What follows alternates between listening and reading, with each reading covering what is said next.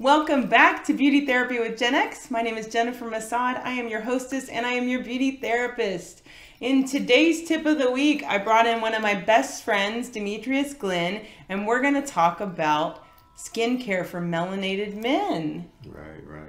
Well, thanks for being here, Dimitrius. Okay, y'all, I might you might hear me call him like DD or Shay Shay, which are his nicknames, terms of endearment, because uh, we're basically brothers from no- another mother. Tell us a little bit about yourself. Tell everybody what you do. So, what I'm I'm a fitness coach and a fitness mentor as well, and a mentor in a juvenile detention center. So, I have a collaboration of working in fitness and sports and mentoring for young males. Over the years, we've talked about beauty and skin as it relates to gender and skin tone and culture. So you're going to see us talk a little bit more about a lot of things uh, because he's going to be coming back on with me. We might have a Shay Shay and Jay segment. I'll let you know. but in the meantime, DD, tell us, tell me what your question is for today. Uh, my question is what do you recommend or tips do you have for skincare or optimal skincare for melanated skin, in, in particular for males, you know, for males who have darker skin, okay. for lack of a better word? So um, that's a great question and one that really, it can be an answer for everybody. So in a nutshell, I don't care who you are because everyone possesses melanin, right? It's one of the building blocks of our skin and actually the world, as you said. So my basic skincare routine will work for every melanated person. So that's coconut oil to wash your face and remove your makeup, an alcohol-free witch hazel, which he already uses. And then the third step that I like, I'm a big fan, you know this already, of natural oils. Every oil has like a little different gift that it can do. Mm-hmm. So although in beauty therapy lessons, we would break down specifically how you live, what you eat, what prescriptions you're on, and then we also add in genetics as a factor to your skin. Mm-hmm. The biggest thing would be for you evening primrose oil because it helps with tone and texture.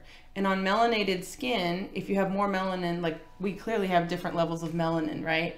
So on him, his irritated skin, if it produces melanin, it's going to look a lot darker on him and also on me. And it will be just as prominent. It just depends on the depth of the skin tone. So, definitely evening primrose oil for tone and texture. And then the other thing that I think is so important that I think is part of nature's magic is turmeric, y'all. So turmeric root is fabulous. You've probably seen it or eaten it in like a lot of ethnic or curry dishes. It can be very potent. It's a natural anti-inflammatory. And what I recommend to brighten melanated skin, particularly on men too, would be to do a turmeric mask. So you can do that two to five times a week. Find a recipe that works for you and leave it on your skin a minimum of 20 minutes. You'd be surprised at how much it'll brighten the skin, especially when you have more melanin. Now on folks like me, it's gonna stain my face. So you could probably do it same day you walk out the door. Me, I'm going to do it on my day off. Although I love orange circles under my eyes, maybe not the rest of the world. does that help? It does, it does. Okay. Well, that's our tip for the week, guys. I'm so glad you stopped by, DD. We're going to have some more conversations because melanin and beauty, gender, and culture all matter when it comes to beauty therapy.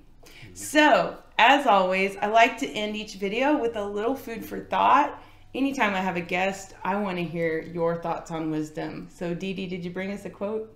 Um, I'm gonna give you a some words that my mentor gave me, starting from when I was about 14 years old. Okay. Uh, the great Seth L. Bailey, and so his words are: "The hardest thing for a man to do is to make a decision and follow it through."